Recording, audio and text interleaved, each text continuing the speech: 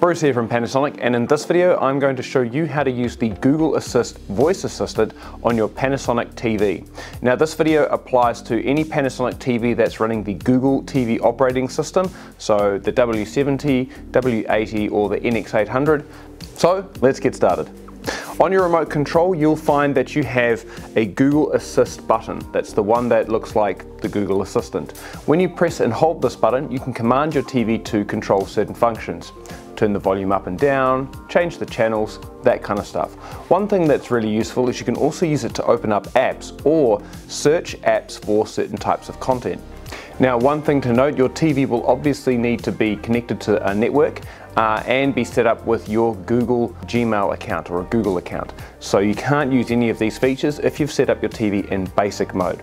Let's give this a go now. Show me some action movies.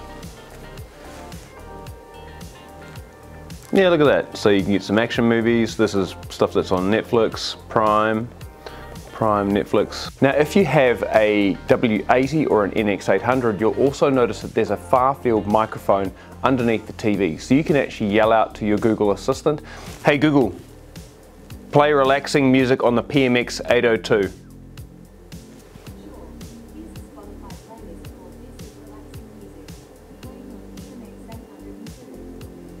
Should come through.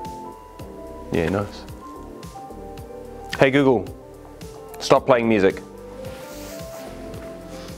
Yeah, so you can use the Google Assistant built into your TV to control your smart home, so lights and switches and other smart appliances, or cast content or media to other cast enabled devices like the Panasonic PMX 802.